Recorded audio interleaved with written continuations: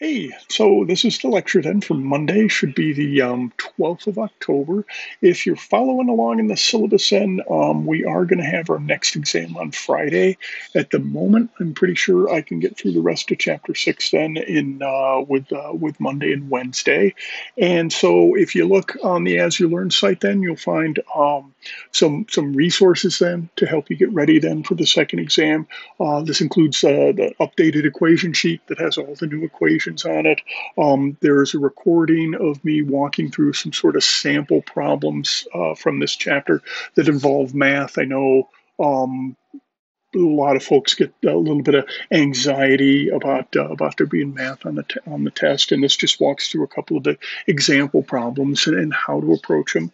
Um, and again, I'm hoping to you know get through chapter six by the end of Wednesday, and if that's the case, then the exam will be Friday. And like the last exam, it's really Friday up till Sunday night to take it, so you have the whole weekend then um, to go through everything and to get ready and to study for it. So um, with luck, we can uh, we can get this done. And as always, you know, if you have questions about this stuff, come see me. And finally, then, you know, just a reminder um, this is it for. Um, you know the the mathy physicsy stuff. After this chapter, we're going to sort of skip over the sun and jump to chapter eight and start talking about the solar system and then the planets and comets and asteroids um, and all the good stuff. But we have to lay this this foundation though um, so as we, we go through and we talk about different things and you know how we how we're able to figure out the temperature of a planet, something like that, um, you you know where that's coming from. So uh, bear with me. Um, this is probably this one and probably the next lecture are the most mathematical physicsy uh, lectures and physicsy, if that's like a real word. Um, but but these are probably the uh, chapters you're gonna like the least unless you're a physics major or a math major or really interested in science and stuff. But again, it's important. So when we talk about things, so how do we measure how fast a star is moving?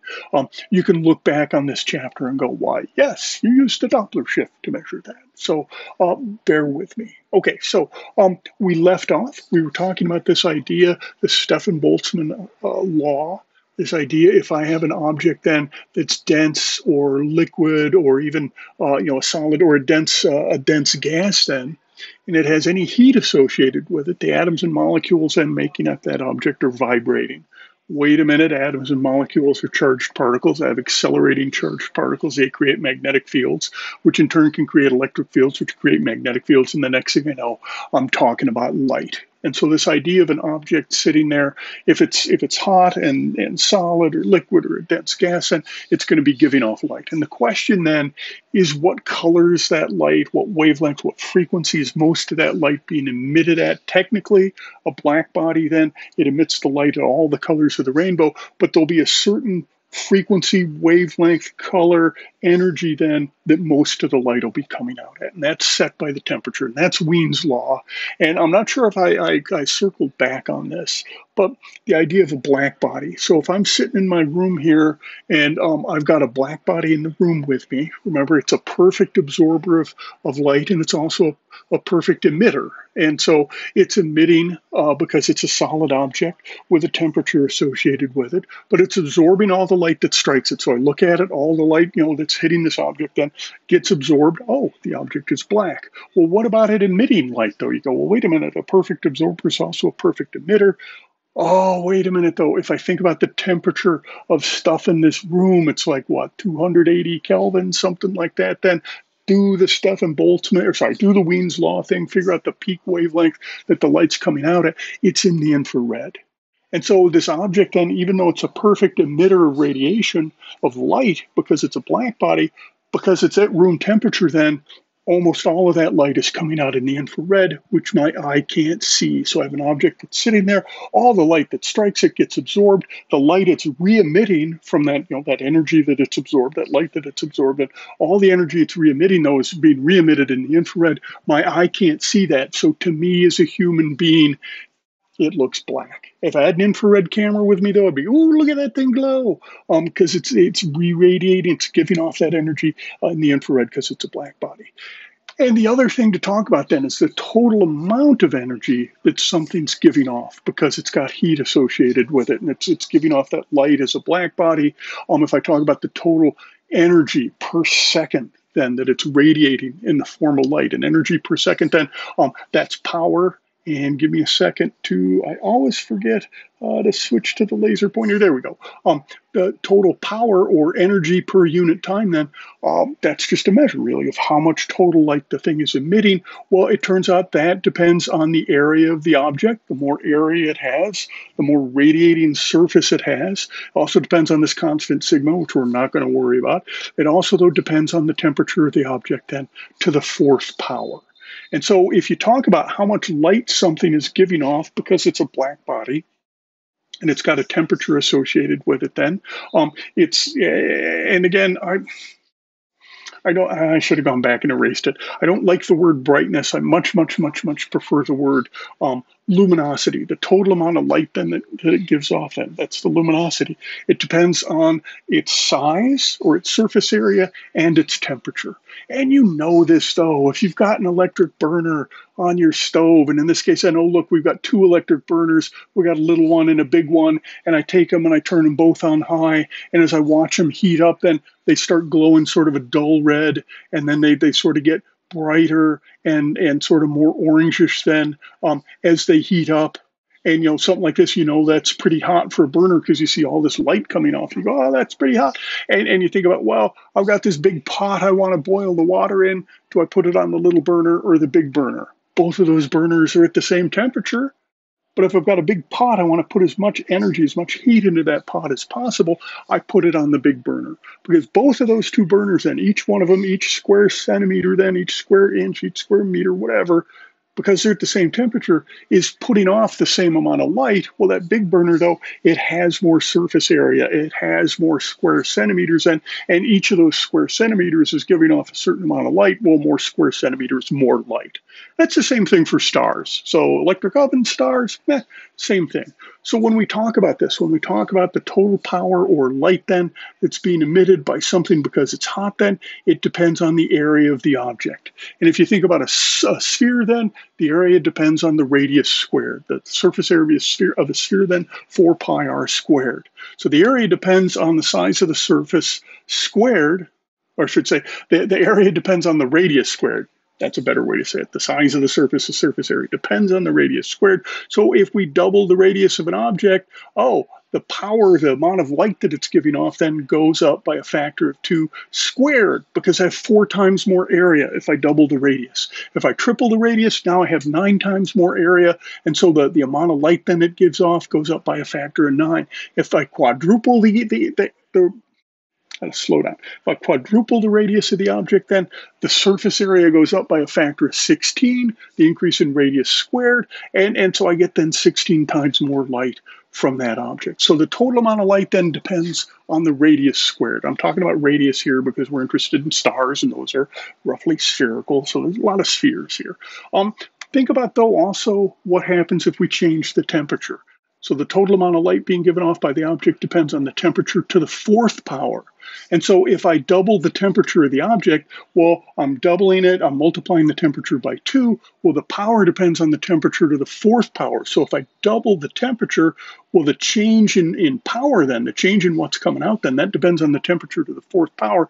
If I double the temperature, I've got two to the fourth power, that's my change in temperature to the fourth power, uh, I've got 16 times more light then coming off the object. If I triple the temperature, I get 3 to the fourth or 81 times more light coming off the object. If I quadruple the temperature, I get 4 to the fourth power, 256 times more light then uh, coming off the object. And so the total amount of light that something's giving off then, uh, it really, really depends on temperature to the fourth power. And any change I make to the temperature, well, that change range gets raised to the fourth power when I'm talking about the total amount of light that's giving off at that, uh, because the amount of light then depends on that temperature um, to the fourth power. So you can go and you can start talking about or thinking about, I guess, uh, stars. And so maybe we have two stars here. They're the same size, but they have different temperatures. So I have a red star. Um, and a blue star, which one's going to be the hotter star? The red star or the blue star? And I'm hoping you go, oh, yeah, that's a Wien's law thing. Then the hotter it is, the shorter the wavelength, the higher the frequency, the higher the energy, the bluer the light. This blue star is going to have a hotter surface uh, temperature um, than this red star.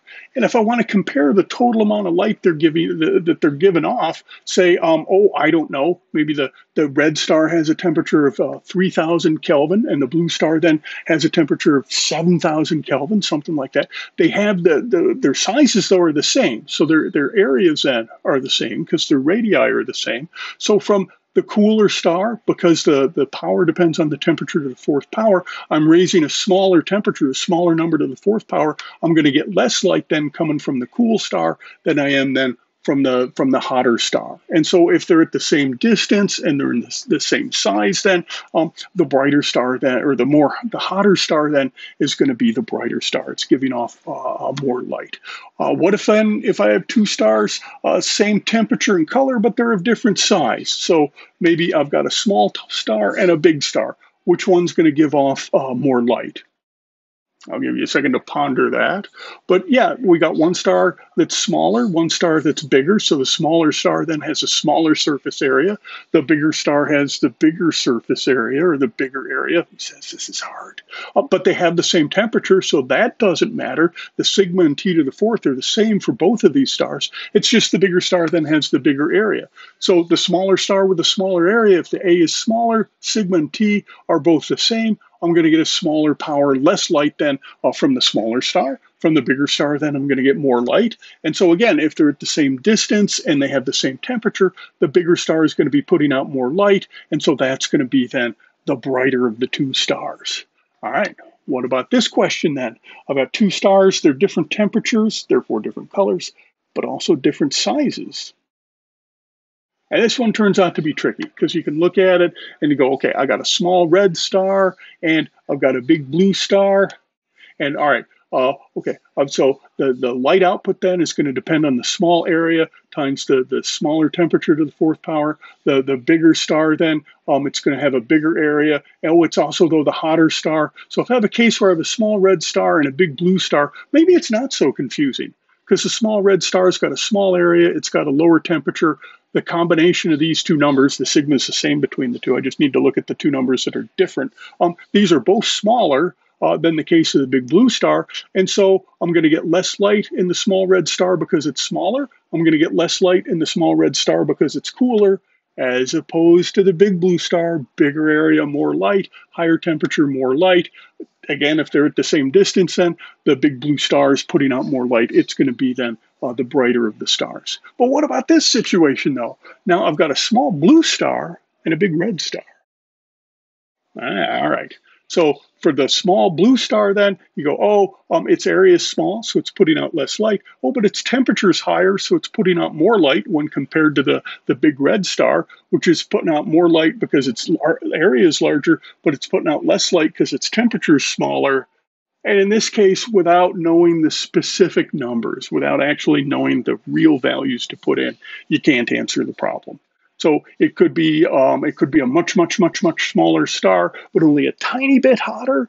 And so the smallness is what di- dictates the light output, and then the small blue star will be putting out less light than the big red star, or it could be could be the reverse.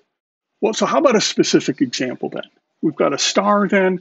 Um, looking at it, it's one star. Star A's got a surface temperature of 5400 Kelvin. Star B is exactly the same size, the same radius, but um, it has a surface temperature that's 30, 3000 degrees Kelvin, so it's cooler. So star B then 3000 Kelvin, star A 5400 Kelvin, both the same size. Um, if we assume they're emitting like black bodies, which is pretty safe for stars, then let's compare the brightnesses of the two stars. How much light is one star putting out? How many times more light is, is maybe one star putting out compared to the other? I'll maybe look at a ratio. And I'll give you a second to give this problem a try. And you can hit pause and, and give it a go. And all right, well, we want to look then. We're talking about the difference in the amount of light that they're putting out then. This will be the, the difference then, or I should say the ratio in the amount of light then they're putting out. This will be the ratio of their powers.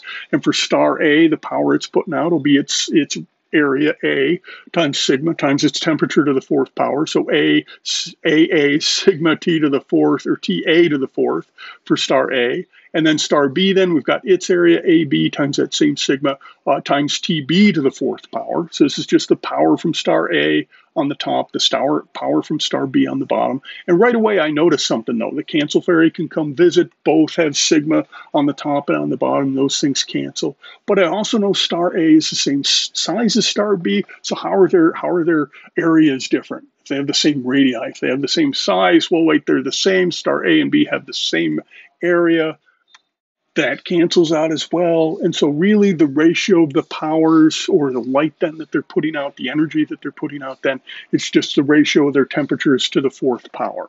Well, I can plug that in then. I just need the ratio of 5400 to the fourth to 3000 to the fourth. And if I don't want to like to use, you know, press a lot of buttons on my calculator, I realize I can I can just uh, pull to the to the fourth outside and do it then it's just 5400 divided by 3000 to the fourth power. If you don't want to take that step you don't have to. It's just going to be more button pressing for you so it's up to you. Um, which that ratio 5400 to 3000 is 1.8 so the answer is going to be 1.8 to the ratio oh sorry the answer is going to be the ratio to the fourth power, or 1.8 to the fourth power. The ratio of their temperatures to the fourth power, 1.8 to the fourth power, 10.5. And so that means then star A is putting out about 10 and a half times more light than star B, or more power than star B, or star A, if they're, they're at the same distance, then uh, is going to be 10 and a half times brighter than star B. All right, I got to take a quick, quick uh, second uh, to go do something. I will be right back. Okay, so the next thing to talk about. Um, all right, well, we've got this idea that you can take a prism and you can split the, you know, you can run light through it and you can split that light then up into its component colors. And so here's just, uh, we can't do this. Um, you know, I can't I can't drive over to your house or your your apartment or your dorm room or, or whatever and do this. But here's the experiment though, where we've then basically got a uh, a light source, and I got to get my laser pointed. There we go. We've got a light source here, and we've got basically a little piece of cardboard here has a slit in it just lets a, a sort of narrow beam of the light go through from this, this light source here and uh, into this prism. And you know what happens when the light hits the prism, right? It gets dispersed um, into its colors. And so here's what it looks like then. We've taken the light then from two different light sources. One is an incandescent light, and we talked about that a little while ago. That's the fancy way of saying a light bulb with a filament in it, a piece of tungsten which gets hot. Oh, it's hot. It's tungsten. It's a metal. It's a solid. Um, it's it's going to radiate like a black body, and I heat it up to 6,000 Kelvin, and I'm going to get a lot of light out of it, and the light is going to look an awful lot like sunlight uh, in terms of colors and the distribution of the colors from it. Fine. All right. It's a black body source. Another source of light, though, what might be one of those compact fluorescent bulbs, something like that, where I can take a different kind of a light bulb, a compact, compact fluorescent light bulb, take its light and run it through the prism and split up its light up in, into its colors. And what happens, though, um, is I see something different. And here, here it sort of is blown up a little bit, where this is the incandescent light source, the black body source, the light's going through the split, being split by the prism, then spread out by the prism. And yeah, I see all the colors of the rainbow red, orange, green, indigo, violet, blue, you know, all of the colors there. Um, well, wait a minute though. When I, when I take the the fluorescent, the compact fluorescent light bulb, and I send its light through, I get something that looks completely different. I've got colors then um, that are actually missing. Yes, I've got red, but where the heck's yellow? And I've got green, but but then beyond sort of in here, then there's nothing. And maybe I've got this blue band here, but where's my indigo? Where's my violet? It looks different. Um, and it's a different kind of spectrum, or it's a different sort of distribution of colors then coming off that fluorescent light bulb. So what does that mean? Right off the just thinking about that for a second, why would I have um, the light coming off these two different light bulbs? Why would the light look so different? And it turns out it's two different processes then that are creating the light. The, the, the incandescent light bulb here is doing the black body thing. It's giving off all the colors of the rainbow. Yes, it peaks in sort of a yellowish, orangish, sunlightish looking light. Um, but this is producing light by a different process. All right.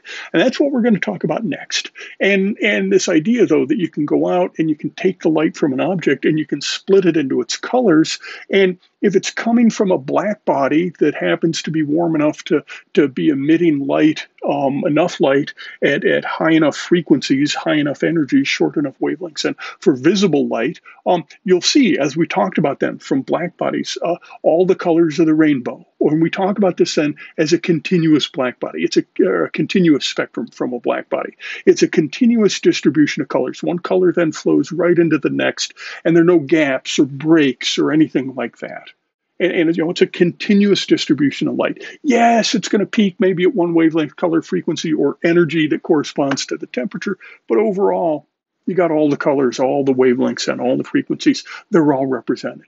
That's different then from an emission line spectrum, where, like for the case of that fluorescent light, when you take it and you look at the light you're getting from it, then you see some red light, but then no colors till you get to this sort of uh, tealish, uh, greenish blue sort of. Okay, I'm getting some greenish blue sort of light out of it, but then nothing until I'm getting some blue and maybe some violet. It turns out for those of you who really enjoy this sort of stuff like me, um, you can look right at that and go, oh, that's a hydrogen spectrum. That's coming from hydrogen atoms. But um, we'll get there but that, that's the idea though. It's a very very different kind of spectrum. It's a very very different distribution of light. And as we'll see later then um, actually see pretty soon um, it's it's because that light in the case of an emission line spectrum then is being produced by a different process. The black body is giving off light because the object uh, is made of atoms and molecules and they're sitting there vibrating. And some are vibrating a little faster some are vibrating a little slower and there's sort of a continuous distribution of speeds. Yes it's peaked at one frequency or one wavelength, but you know you've got they're all there. Um, as opposed to the emission line spectrum, where we've only got very specific colors, frequencies, wavelengths, energies, and being emitted by the object. And what's up with that? Well, all right. We're talking about then how matter is is emitting light here with the continuous, you know, the black body spectrum then, and also then for, from for these emission line spectra, it helps to understand then really what matter's made up of. And I've sort of danced around this and sort of assumed that we've talked about it when in reality we haven't. So maybe we should maybe we should just back up a second and think about well, what's matter made out of? And hopefully, this is stuff you've seen before. Oh, please tell me you've seen this before. The idea then that all matter is made up of atoms, and you can string atoms together into molecules, long chains of atoms, or even just a couple atoms stuck together, like water is one oxygen and two hydrogen atoms stuck together.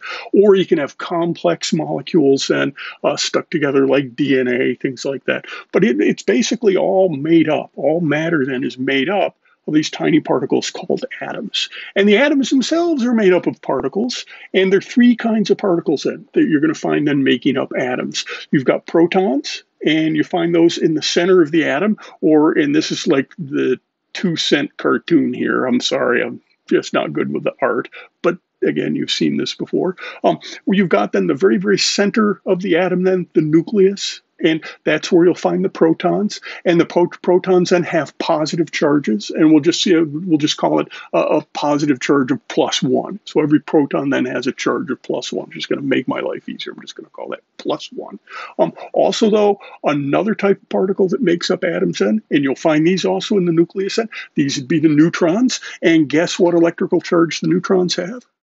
None. They have no electrical charge. So you've got protons and neutrons, and at the at the center of these atoms, and at the nucleus of the these atoms, well, all atoms, not just these atoms, all atoms, it's made up of protons and neutrons. Surrounding the protons and neutrons, then, are other small subatomic particles of the third kind. These are referred to as electrons. And yes, I'm presuming you can read. These have negative charges, and they sort of um, orbit around the positively charged nucleus because it has protons. They orbit around the, the positively charged nucleus like a swarm of bees almost. And you can imagine, well, what are they doing there? Oh, wait a minute. The, the nucleus then, because of the protons, has a positive charge. The electrons have a negative charge, and opposites attract. Um, and so there we go. The, the, the electrons then are held in orbit around the center then of the, the, the atoms and held in orbit around the nuclei then by an electrostatic force or an electric force. Their positive and negative charges attract each other. And there are two ways to really sort of look at it. You can take a sort of classical look at it where here we've got helium then. So this nucleus here at the center then would consist of two protons and two neutrons if it's normal helium. Um, and so the, the nucleus then has a charge of plus two because it's got two protons and the two neutrons don't contribute anything. And going around it then would be two electrons. And, and you can almost think of them like actual, you know, particles, almost like little tiny basketballs um, or moons um, in orbit around the nucleus here. You can think about them then as, as actual individual particles. But in reality, the world on the quantum scale is weird and wacky. Um, we've got courses in that and quantum mechanics and stuff if you really want to get into it. But one of the ideas then is on very, very tiny scales, and there's not much difference between particles and waves. And we sort of saw that with light. And this idea then that you can think about, you know, here's the nucleus, and it's it's not surrounded actually sort of by two particles and you know basketballs going around the nucleus, and but actually sort of a, a, a sort of cloud where the, the electron then is actually really sort of a probability wave around the nucleus. And at that point, you go, oh, for, for the sake of this class, so um, we'll probably stick with more of a planetary uh, model like this, and it's not it's not one that's going to quite keep you up um, awake at night. But in in reality, then um, where the electron is then is actually really just a probability. I can't really just take a stick and poke at it as it's going by at that specific point at that specific time. As always, if you have questions about that, let me know. But just just for the sake of simplicity, though, we will just consider them um, little balls going around the nucleus. And so, you know, we're talking about atoms that make up matter. And if you think about matter, then oh gosh, all matter, uh, you can you can break these atoms down in, into types um, or different elements. And uh, when you're talking about the different elements then that make up matter, it really comes down to the number of protons then that are in the nucleus. All hydrogen nuclei have one proton. All helium nuclei have two protons. All lithium nuclei have three protons. Carbon has six. Nitrogen has seven. Oxygen has eight. I'm not going to make you remember all that, except you probably should know hydrogen one is one, helium has two protons, and the rest, whatever. Um, but so when you're when you're talking to physicists and chemists, sometimes their language is a little bit different. But the idea is we talk about the atomic number then for the element, for a different element, different elements. And, and this is the number of protons then that are in the nucleus. And that determines then the electrical charge of the nucleus. And if we say each proton then is sporting plus one, um, in this case, for carbon, which has six protons, its atomic number is six, and the charge on its nucleus then is plus six because it's got then um, those uh, those six protons. And so, looking at it, then we've got atomic number and symbol. These are actually the same thing. If you tell me the atomic number then is um, 26, I'm gonna I'm gonna go, oh, that's iron and and that just comes from from doing this for a while and working with uh, working with atoms and, and nuclei and stuff like that. But they're really the same thing. Um, all right, so we've got then this idea that the atomic number is really just the number of protons in the nucleus and which really is determining the, the element then. So hydrogen, one proton, carbon, six protons, uranium, 92 protons. And also, though, um, you can look at this other thing on here. We've got the symbol C, carbon, oh, C, carbon, that one at least makes sense. And then also here is the atomic mass. And that's really, um, if you leave off the decimal point or you round it then to the nearest whole number, that's really just the mass number. And mass number is not quite the same as atomic mass. Oh gosh, how much do we want to get into that? Because really, if you think about um, different nuclei, there's different bindings, and you know, different the, the nuclei then are pulled together with different um, amounts of force, and that translates into energy, which is slight mass differences. Oh, good lord, we're not going down that road. Just basically the atomic mass. If you just look at it, round it up, round it down, then the total is going to be the number of protons plus the number of neutrons in the nucleus, and that's referred to then as the mass number. And really, the idea is protons and neutrons have one atomic mass And there you go. So if you've got an atomic mass of two, you know you've got two particles then in the nucleus. And if it's hydrogen, one of them's got to be a proton because it's hydrogen. So the next one, the other, the other particle then has to be a neutron. And um, gosh, we can talk about this. We can also talk about though, um, if you walk around and you look at, at, atoms, look at your hand. Most of the hydrogen uh, atoms then that are bound up in the molecules of your hand, they consist of one proton in the nucleus, and that's fine. Although if you look in nature, you can run across some hydrogen nuclei, some hydrogen atoms then with nuclei that have an additional proton, or sorry, an additional neutron in them. And, and likewise for carbon. If you look at the carbon in your hand, then um, 89% of it uh, by, by, number then um, is made up of carbon 12, 12, 12, carbon 12. And you go, wait a minute, that's carbon, that's six protons, the the uh, the atomic mass number is 12, so it must be six protons, six neutrons. You know, most of your hand is made up of that stuff. But you know, every uh, out of every hundred carbon atoms, then um, a, ten or eleven of them then actually are sporting an extra neutron, carbon 13, and even also mixed in there, or even even a little bit of carbon 14. So this idea that we've got elements out there like hydrogen, most of the hydrogen out there, one proton, zero neutrons, mass number of one. There is though some hydrogen out there though that's sporting um, this is referred to as deuterium. It's, it's one proton, so it's hydrogen, but it's also then sporting an extra neutron. Chemically, it behaves like hydrogen because it still has one proton and it's hydrogen. It's just got more mass because it has an extra neutron then in the nucleus. And that doesn't really change anything other than the mass because the neutron had no electrical charge. So it has a mass number of, of two. Carbon then, typical carbon in your hand, six protons, six neutrons, mass number of 12. Um, and thinking about then, well, some of that carbon, um, uh, there's also, though, a little bit of the carbon 13, and there's carbon 14 then that's in, in your hand. Carbon 14, six protons, eight neutrons, and a mass number then of 14. All right, sorry about that. I usually don't do edits, but uh, we don't have a lot of time, and I went into like a four minute discussion of uh, carbon 12 versus carbon 14, which actually decays over time, um, and, and how that can be used to, to basically radioactively date um, things here on Earth. And um, if you want to know more about that, come see me in the office hours. Um, but we, we sort of do need to need to keep moving here. Um, another thing to talk about then is is I've already sort of mentioned it a couple times. The number of protons in the nucleus sort of determines, um, you know, what element we're going to call it. Like hydrogen, that always one proton. Helium, that always two protons. And and what's up with that? And the idea then is that in an electrically neutral atom, you've got you know a certain number of protons in the nucleus. You're going to have the same number of electrons then in orbit then around that nucleus. And looking at that, then it's those electrons that determine the chemical properties.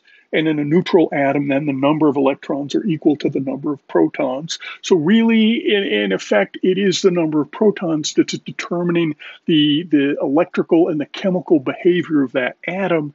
And that's why different numbers of protons, we refer to them then as different elements. That's what's going on here. But, you know, okay, in a typical neutral atom, then the number of protons is equal to the number of electrons. If I look at the carbon atoms in my hand, I've got six protons, six neutrons in most of them, and I'll then also have six electrons then going around um, those nuclei, and they'll be electrically neutral. Those plus six charges, or so the plus six electrical charge from the protons, then is balanced by the minus six electrical charge um, from the electrons and going around. And so it's electrically neutral. Ah, oh, man. All right, I got a dog barking at me. I will be I will be right back. all right. Um yeah. Um it's good. Okay. All right. Um ah, the whole idea then. In a typical atom then the number of protons and the number of electrons then are equal to each other. It's electrically neutral. But we can find though atoms that are out there that have maybe lost an electron or even even oddly enough can, can gain an electron and when that happens, then um, the atom becomes electrically charged. If I have, a, if I have a, an atom here and I strip an electron off, I've got you know the number of protons here. I've got a positive charge. I'm down a negative charge though from the electrons. I've removed one of the electrons. Say if I'm looking then at a carbon atom, six protons, six electrons. If I strip one of those electrons off, now I've got six positively charged protons, but only five negatively charged uh, electrons. And I've got a net positive charge then of one. And believe it or not, that's actually what happens when you um, oh, I don't know, we've all done this. You walk around on the carpet then and you sort of slide your feet on the carpet, you don't pick them up. Um, essentially, what's happening is the rubbing between the rubber uh, soles of your, your shoes and the carpet. Your, the, the rubber soles uh, on your shoes are actually pulling electrons then off the carpet and you end up then with a net negative charge. You've you've ionized yourself. You have more electrons uh, than you have protons. You have a net negative charge. And the carpet then, because it's had some electrons removed, uh, the carpet then gets a net positive charge. So it'll have more um, um, uh, it'll have more protons than it will electrons. So you've got an excess of electrons. You've got a net negative charge. You're ionized, and, and you sort of then you walk around. You're looking for your little brother, your sister, the cat, or something uh, to give them some of those electrons with the, the spark and the shock and everything. But that's what's going on. And so when you've got an atom and the number of electrons and protons, they don't balance each other. There's a net electrical charge. We talk about that atom then as ionized. And this is one of those things in astronomy then that is I don't I don't know I never know what to say about it then. It's the notation though of people who look at the light being given off by atoms then and in the spectroscopic notation then if the if the atom is neutral it gets a Roman numeral 1 if it's had one electron removed it gets the Roman numeral 2 if it's had three electrons removed sorry if it's had two electrons removed it gets the Roman numeral 3 um, and if it's gained an electron, then it just gets a little minus sign behind it then because it's got a net negative charge. And typically you can only add one electron to an atom. And so you only talk about then um, really just uh, a single negative sign then uh, behind the atom. But it's it's confusing um, because you can talk about silicon 4, how many electrons has it has it has have been removed. Silicon 4 has last, lost how many electrons? And in a sane world, you'd look at that and go, four. It's lost four because it's silicon four. But no. Um, remember, you're starting from you know the neutral atom being a one, and so um, what that means then is, is, one is neutral, two is lost one, three has lost two, four then um, means you've lost then um, three electrons. And so um, looking at that, yeah, the neutral state then minus the the, the um, how do we want to say it? The ionization state minus the neutral state, that's the number of electrons lost because you're starting from one. So four minus one then is actually three electrons lost. All right. Why are we talking about all this? Um, we're getting there. And we got a, one last thing to think about, or one last thing to look at before we can talk really about how these atoms and their electrons then end up interacting with light, is the actual sort of structure of the electrons and and sort of the energy levels. I hate just coming out with energy levels, but thinking about then, um, if you go back to the the thinking about the electrons and as particles in orbit um, around the nucleus, um, what sort of orbits can the electrons have? And it turns out then that this was this one of the great contributions then of Niels Bohr um, was basically looking at this and coming to the realization that if you've got a nucleus and an electron going around it, well, there's a certain amount of energy associated with that. And this energy is a lot like gravity, where if I want to take the electron and I want to move it to a higher orbit, so I've got my phone and I want to move it to a higher orbit around the Earth, then I have to do work to move it away from the nucleus or move my phone away from the Earth, then I have to do work. I have to put energy into it. And so I can have these orbits that the electrons can be in, and there'll be a lowest possible orbit that's the least possible amount of energy, and then higher and higher orbits, then bigger and bigger orbits, more and more distance between the electron and the, the, the nucleus, then that, that correspond to higher and higher energies then and, and that's okay. That's almost that's you know that's thinking about almost almost what you see going on with gravity and things in orbit around the Earth. I have to expend a lot more energy then to put something in a high Earth orbit versus putting something in a low Earth orbit. Or it takes me a lot less energy to just lift my phone this far away from the Earth as opposed to lifting my phone this far away from the Earth. All right, well, pre- pretend my phone's a really big rock or something like that. You know what I'm talking about. The further away you have to have to move it, then the more energy it takes. And the same thing then for the electrons going around the nucleus. And the further away they're they're orbiting, then the more energy it takes to get them out there, or the more energy that orbit corresponds to. And so we talk about this idea of, you know, here's an electron then going around here. This is the lowest possible energy the electron can have. And well, maybe the, the electron will be going around here then. And this is a slightly higher orbit that corresponds to more energy. And this corresponds to even more energy. And okay, that that's fine. That kind of makes sense. The big breakthrough, though, was the realization that the electron can only have certain very specific orbits. It can either be in uh, an electron, then, oh, I forgot my, I've lost my pointer. Oh, there we go. All right. So the electron can either be in orbit here or it can be in orbit here, or it can be in orbit here. It cannot be orbiting anywhere else in between. You'll never find the electron orbiting in here. You'll never find the electron orbiting in here. You'll never find the electron orbiting in here. It can only be here, here, here, here. There are finite definite energy levels that these electrons in, um, can have, and they can't have anything else. And so we talk about then the lowest possible energy level for this electron. This is the ground state, or um, the first energy level, n equals one.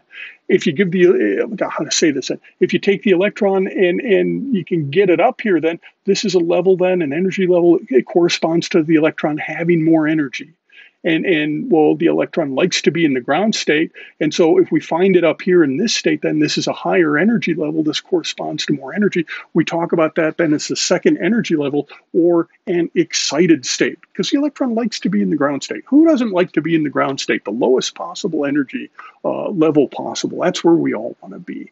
And so you know but you know maybe the electron can be up here then in this second uh, second level then uh, n equals 2 or the first excited state because you've got the first level that's the ground state this is the first excited state or the second energy level well if the electron has even more energy it can be up here then in the third level or the second excited state and so on and the idea, though, the thing to keep in mind is the electron can only have these very, very specific energies. It cannot have energies anywhere in between. And people sometimes sort of, you know, you get into why, what's going on here. And it goes back to, to thinking again of these particles um, really not so much as little tiny basketballs, but as actual waves. And if you're if you're doing the music thing, you can actually almost think of these energy levels then as harmonics in a vibrating string. And you think about a vibrating string, then it can have this frequency, this harmonic, or this frequency, this harmonic, but not a frequency, not a not a pitch, a tone, uh, a vibrational state that's in between. And so you can only get certain frequencies then out of the out of the strings on a string uh, on a on a on a stringed instrument. Then it's the same sort of deal here, kind of. It's kind of like that then. So you can almost think of them as harmonics. But the big thing, the takeaway then, is the electron can only be in this energy level, or this energy level, or this energy level, or this energy level. And uh, you know, if we if you think about too high an energy level, um, you can actually give it too much energy and kick the electron then actually out of the atom. And we talk about that then as the ionization process. And uh, I don't know. Another way to think about it then is this is almost like a bookshelf where I can put my book here, I can put my book here, I can put my book here, I can put my book here. I cannot put my book halfway between the shelves. It, there's nothing there uh, to support it. Um, but this is it then. This was the big breakthrough then of Bohr that you have these technically they're referred to as quantized energy levels. That's where the where the phrase the, the term quantum mechanics comes from because these these orbits and these electrons can only have very specific orbits, ground state, first excited, second excited, third excited state, and up. And so thinking about that though, this idea this is just true for all atoms that can only have certain energies. Um, okay, well, how do we get how do we get the the electron then uh, from a low energy level uh, up to a higher energy level? I should say right from the beginning that if you take an atom and its electrons going around it then and you just put them in a box and you leave them alone, those electrons then are going to end up in the lowest possible energy state. They're going to end up then in the ground state. Nature likes things in the ground state. To kick them up to these higher excited states, then we somehow have to give these electrons energy. And you can think about two different ways then to give them energy and to kick them up then into these excited states. So here in this diagram then is an electron here. This is in the ground state. The little black dot in the center then is the, the nucleus. Got an electron just sort of going around here. You give it some energy though, and it can jump from that first energy level to the second energy level or to the first excited state. And, and you know you can do that. You can give that energy, uh, that electron, then some energy. You have to be careful though, because it has to be the exact amount of energy necessary to jump from this energy level to that energy level. If I give it too little energy, too little energy, um, it, it's gonna it's gonna jump to someplace in between these two levels, and that's not allowed. If I give it a little bit too much energy, then it'll jump above that that first excited state. Then, or you know, it'll jump above you know this first excited state here, and that's not allowed. I have to be, I have to give it then just the exact amount of energy then to jump between these two states.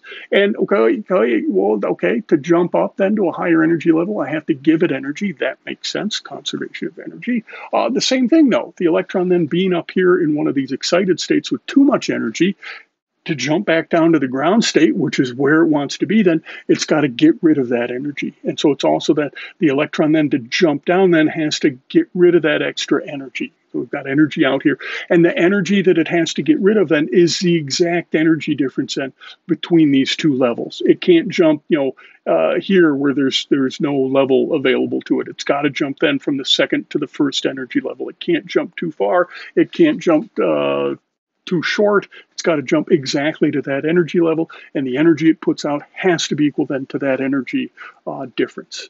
And so, how can we do this? So, how do we have these atoms and how do we give them energy and how do they get rid of energy? And for giving then an electron energy in order for it to jump from the ground state or from one level to a higher level, there are two ways you can do it then.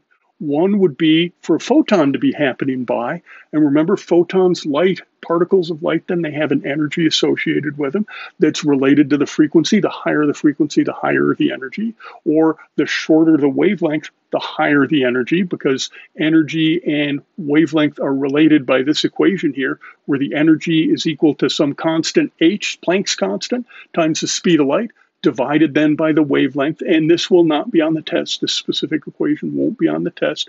But what I want you to think about, though, is this idea that this wavelength, while the light corresponds to a very, very specific energy, and this is the equation that relates the two. And of course, the smaller the wavelength, I'm dividing by a smaller and smaller number, the bigger the energy. And so if I have a photon come by that's just the right amount of energy, just the right frequency, right wavelength, right color, right energy that corresponds to this electron being able to absorb it and jump up to this higher energy level, to this first excited state or going from n equals 1 to n equals 2, the electron can do that. It can absorb that photon. If the energy of the photon is too high, though, and the electron would end up jumping somewhere here, the electron can't absorb that photon. It just goes right by, and the, the electron's just like, nope, nope, nope, can't deal with you. Nope, get out of here. Um, likewise, then, if the energy isn't enough to, to have it jump from the first energy level to the second energy level, and it would end up somewhere in between here, if the wavelength is too long, the energy is too low, likewise, the electron will just let that wave pass by too because it can't do anything with it. So that's one way to give the electron energy. Another way to do it, though, is actually in a collision with other atoms, collisions with other atoms, and that's an energy thing. Whack, I've hit. There's you know X amount of kinetic energy then um, released in the collision, and if that energy involved in the collision then is exactly the right amount, the electron then can also absorb that and jump up to that higher energy state. And it's not going to like to be there, so that energy, that electron then can jump back down to the ground state then by losing energy. And the only way it can lose energy then is through the emission of a photon, because photons are energy, light. It'll emit light then, and the wavelength of that light then um, is going to be related to the energy of that jump down, again, by our equation, which relates energy then to wavelength. And so the electron not going to like it up here in the second energy level. It's going to jump down to the first energy level, and it's going to get rid of that energy then in the form of light. And this equation then will tell us the relationship then between the energy and the wavelength of light that it gives off.